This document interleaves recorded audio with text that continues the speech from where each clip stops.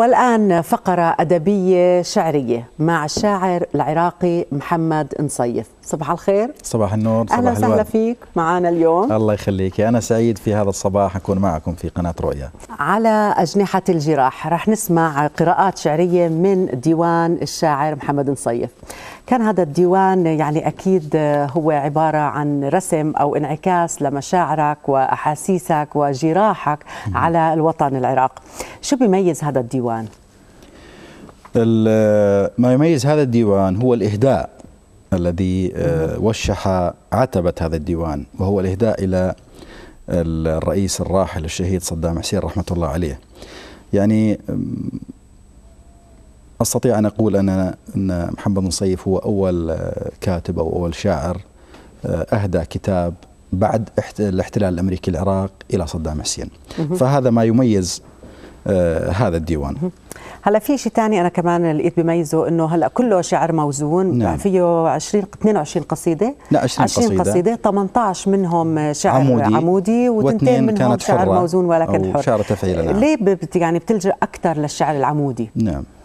يعني إحنا ورثنا عن التراث الأدبي الشعر هكذا. يعني وفق أو سمي هذا الشعر وفق خصائص معينة. الخصيصة الأساسية وهي ليس الوحيدة هو الايقاع الموسيقي وهو الوزن حتى نقول أننا نكتب شعرا يجب أن نتمسك بخصائص الشعر حتى نقدم نقدم للناس نموذجا شعريا حقيقيا. هناك هجمة فكرية على هذه الأمة. الهجمة الفكرية يعني تسعى إلى طمس هوية هذه الأمة، إلى قتل تراثها، إلى قتل فكرها، إلى قطع الشريان الناهل من التراث العربي من اللغة من ال يعني هناك مصدات أمام أمام أمام هذه الهجمة الفكرية وهي اللغة بمجرد أن تقتل اللغة أو تضيع اللغة أو تضمح اللغة يفقد الإنسان انتمائه لهذا الوطن ولهذه الأمة ويفقد انتمائه وهويته إلى إلى وطنه وثم يتحول إلى إلى تابع إلى أمم كثيرة وهناك طبعا كثير من من أصدقائي يقول إنك دائما تركز على موضوع المؤامرة، نعم مؤامرة موجودة. مؤامرة موجودة على هوية هذه الأمة، هذه الأمة أمة عظيمة. نعم. اللي زرعت راياتها من الأندلس إلى إلى الصين، لذلك هناك تكالب على على سحق هذه الأمة ومرت بمحن كثيرة، مرت بأزمات كثيرة لكنها باقية. باقية. لأنها امه عريقة. لذلك أنا تمسكي بال بال بالقصيدة الموزونة يعني قصيدة الشكل العمودي وقصيدة التفعيل اللي هي وليد يعني شرعي للقصيدة العمودية. تمسكي بهذا بهذا اللون من الشعر هو اعتبره مصد أمام هذه الهجمة الفكرية تجاه هذه الأمة، أنا أعتز بهذه الأمة بانتصاراتها، بزهوها، بانكساراتها، لذلك أحرص دائما على الحفاظ على تماسك وقوة هذه هذه الأمة التمسك بهذا اللون من الشعر هو بمثابة مصد أمام هذه الهجمة الفكرية الثقافية. بدنا نسمع هلا قصيدة من نعم. ديوانك على نعم. أجنحة الجراح وتقول نعم. كأنها الجراح أجنحة نعم. وسافرت وصارت سفيرك لقلوبنا نحن الناس اللي عم نسمعك وبنقدر هذه الموهبة الشعرية فشو بتحب تسمعنا؟ طبعا فاتحة الديوان هي قصيدة عذرا أيها العرب وهي فيها يعني عتب على على أمتي التي أنتمي إليها ووطني العربي هذه كتبتها في عام 91 أثناء أحداث الكويت وكيف صار تكالب على العراق وكيف يعني تعاضد الخصم والشقيق على تدمير هذا البلد الذي هو قلعة لهذه الأمة. ففيها عتب وفيها استذكار وفيها تذكير أننا قلوبنا كبيرة نصفح. سأقرأ هذه القصيدة ثم تفضل. أقول متى سيخلع ليل الحزن وجداني؟ كفى بدمع الأسى دربا لعنواني. ماذا أحدث عن أهلي وهم قمم بغيرهم ما لهذا القلب من شاني؟ ماذا سأحكي إذا حدثت عن وطني وهو العراق الذي ما مثله ثاني؟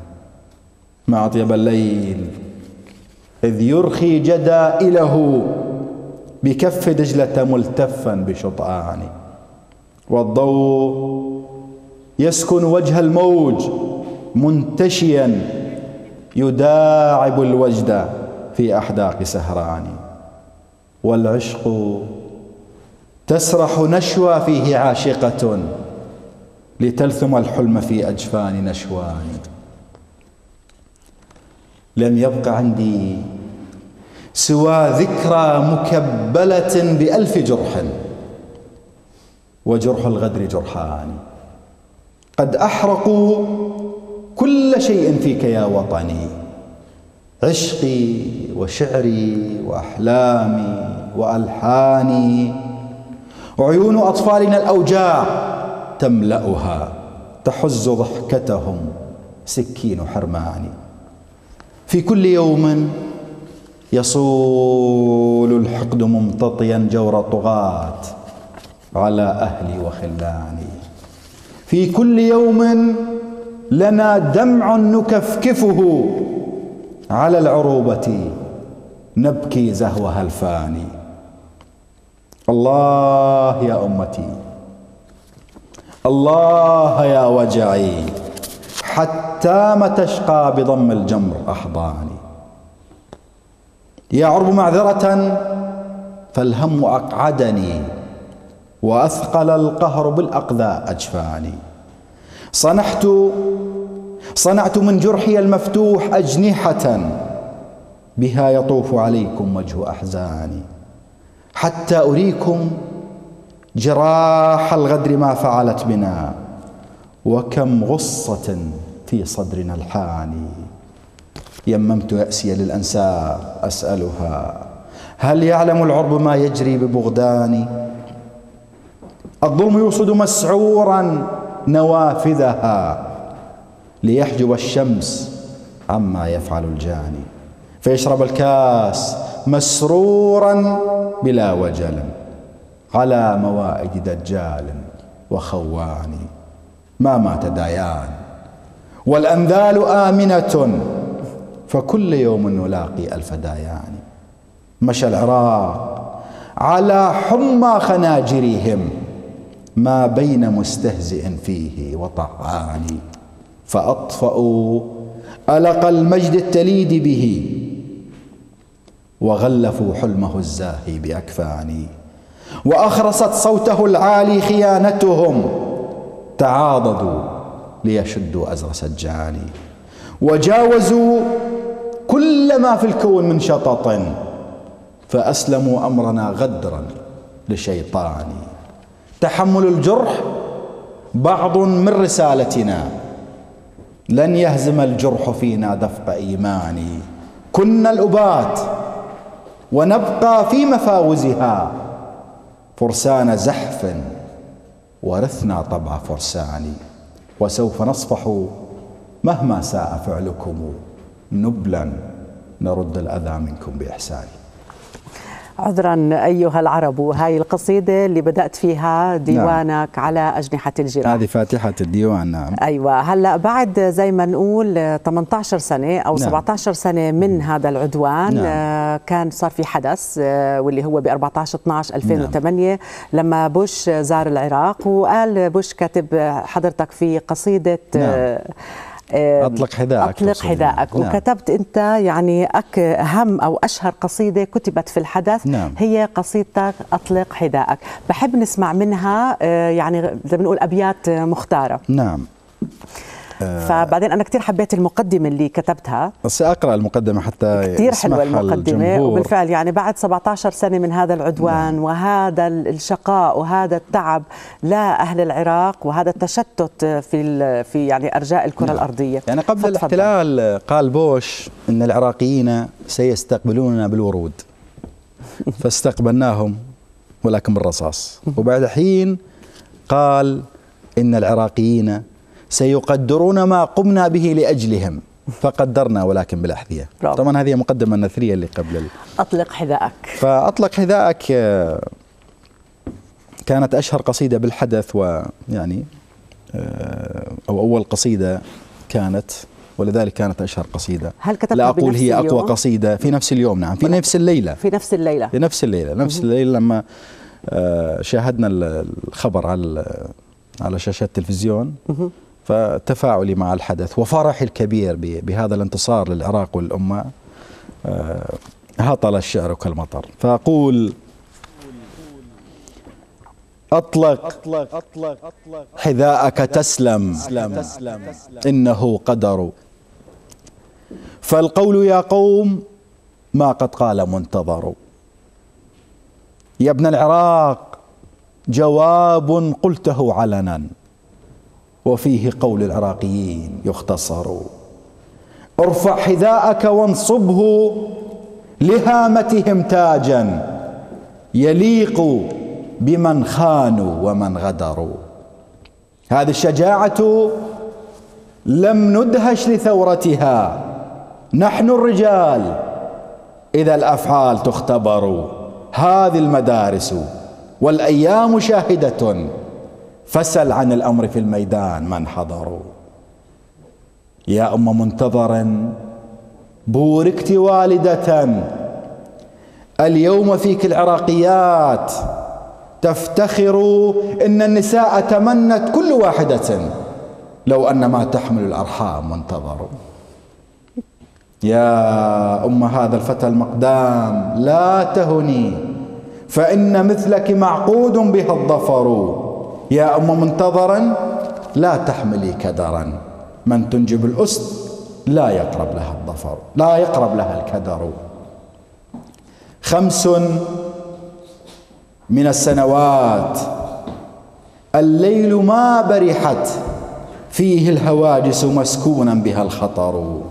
كم حرة بدموع القهر قد كتمت نوحا تحرق منه السمع والبصر كم حرة.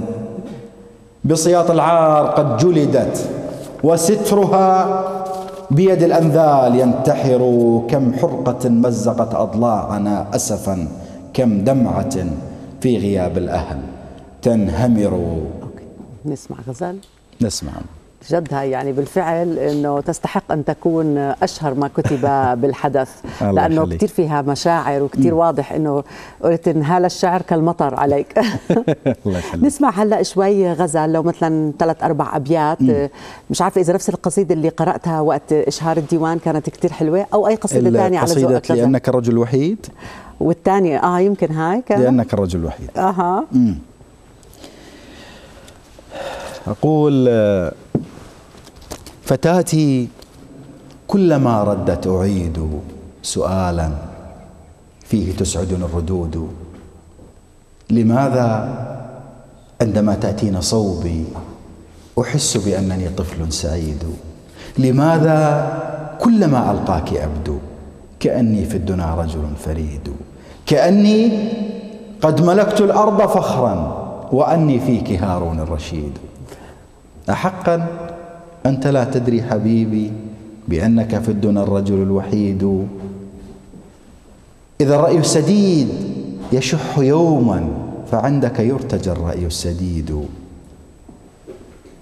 أرى عينيك ملؤهما اتقاد فأنت الثابت الجلد العنيد. أنا امرأة تمادت في مناها وتخشى أن مطلبها بعيد فكانت لحظة اللقيا كحلم عجيب.